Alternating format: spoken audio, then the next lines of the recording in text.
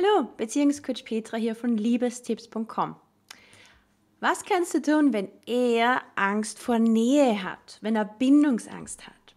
Laut Statistik haben 25% aller Menschen Bindungsangst. Das heißt, einen vermeidenden Bindungsstil.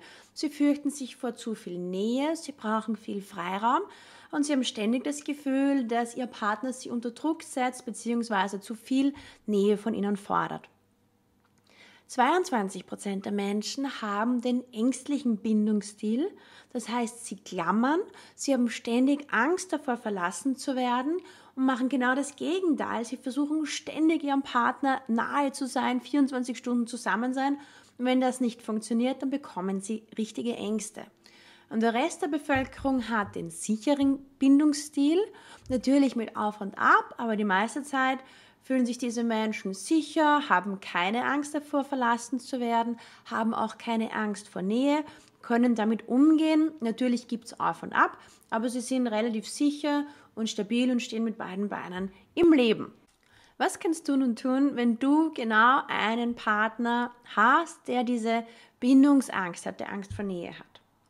Mal grundlegend, wenn du zu den Menschen gehörst, die ständig Angst davor haben, verlassen zu werden, die ein sehr starkes Bedürfnis nach Nähe haben, fast nach Symbiose haben, dann ist ein Mensch mit Bindungsangst definitiv nicht der richtige Partner für dich.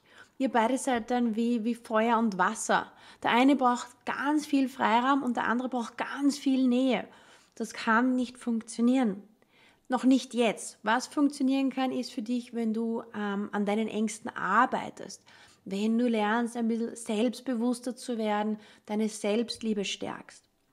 Das kann dazu führen, dass du dich zu einem Menschen entwickelst, der einen sicheren Bindungsstil hat, der Vertrauen hat in den Partner, der sich öffnen kann, der Nähe zulassen kann, der aber auch Distanz aushalten kann.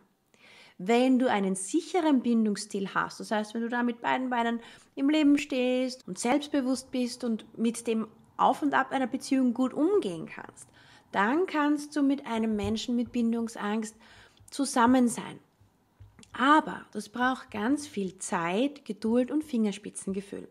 Es gibt keine Technik, die mit einmal funktioniert und einem Partner die Bindungsangst nimmt. Das gibt es nicht. Es gibt das nicht ein SMS oder eine Handlung oder eine Aussage von dir.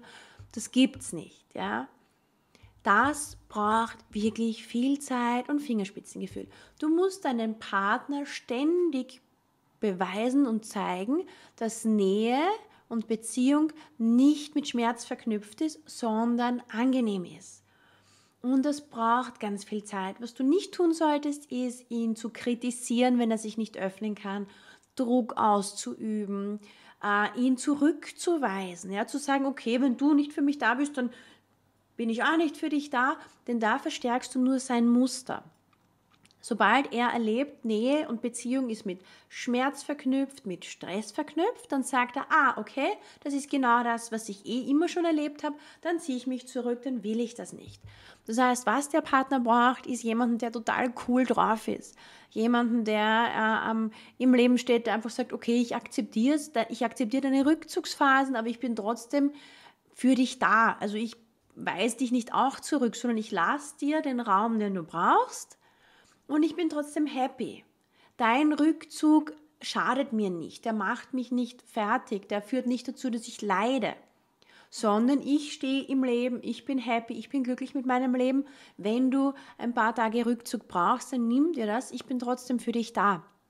Wenn der bindungsängstliche Mensch merkt, dass die Bindung mit dir, die Beziehung mit dir positiv ist, dass das angenehm ist, dass er so wertgeschätzt wird, wie er ist, dass er so akzeptiert wird, wie er ist, dann wird er sich langsam Stück für Stück öffnen. Ich kann mir vorstellen, dass das nicht immer einfach ist und dass man sich manchmal einfach mehr vom Partner wünscht. Aber hab Vertrauen, es wird sich auszahlen. Wenn du mehr über Bindungsangst wissen möchtest, ich habe ein paar tolle Miss PTV-Folgen über Bindungsangst bereits gemacht Und da erkläre ich dir ganz genau, welche unterschiedlichen Arten von Bindungsangst es gibt. Es gibt aktive und passive Bindungsangst. Das ist total spannend und ich zeige dir auch, wie du Schritt für Schritt an der Bindungsangst arbeiten kannst, an deiner eigenen und auch wie du deinen Partner unterstützen kannst. Also wenn du das sehen willst, du kannst es dir jetzt gleich anschauen, brauchst du nur hier zu klicken und hast sofort Zugriff auf diese Miss PTV Folge. Das sind 45 Minuten Online-Workshop ähm, mit mir. So, wenn dir das gefallen hat, klick auf Gefällt mir, teile es mit deinen Freunden und hinterlass mir hier einen Kommentar. Auch Themenvorschläge sind absolut willkommen. Gut, ich wünsche dir alles Liebe und drück dir die Daumen, dass das mit deinem Partner super funktioniert und dass ihr beide bald das glücklichste Paar seid. Also dann, alles Liebe und bis bald. Ciao.